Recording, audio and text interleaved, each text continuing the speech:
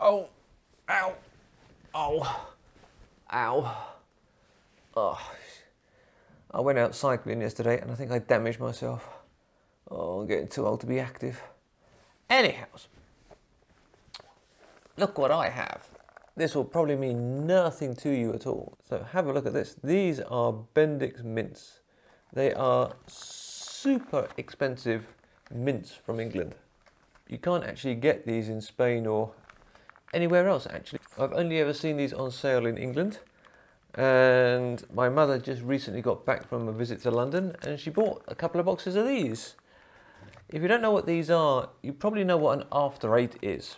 Uh, an after eight is like a very thin wafer with mint in it. Well, this is the same principle, but much bigger and much, much stronger in smell. Like you open that box and the whole room suddenly smells of mint.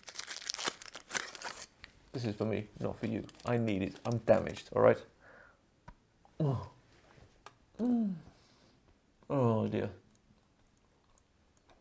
Of course, one snag with it is my, it makes my teeth go all dirty. Ha!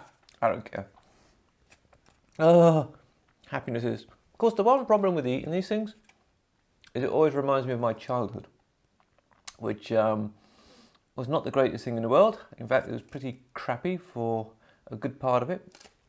And one of the things that was really crappy about it was school. I hated school with a venom. And it's also why this time of the year now is my favourite time of the year because in Europe, this week, start of September, is when all the kids go back to school and I get to watch the TV adverts of all the back to school things knowing how depressing that is for a child. I get to watch these things now, knowing that I haven't got to go there.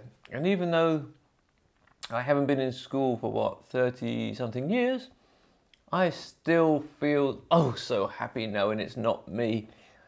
And I have two clients at the minute who are of school children age, they're 14 and 16 I think it is. And they're like already, oh God, school in a few days time. Oh, I'm so happy it's not me. Because here's the thing, I failed school, like properly, properly failed it. If you told my teachers back then that one day I would hold a degree in languages and be an English teacher, they would probably think you're on drugs. Seriously, they would. Mind you saying that, so would I. Funny how life turns out, isn't it? Hmm.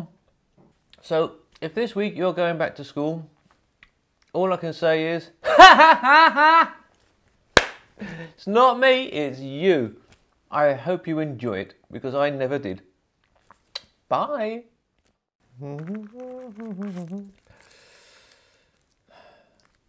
No, let's have a bit of self-control. Just one. Save that for later. Five minutes later.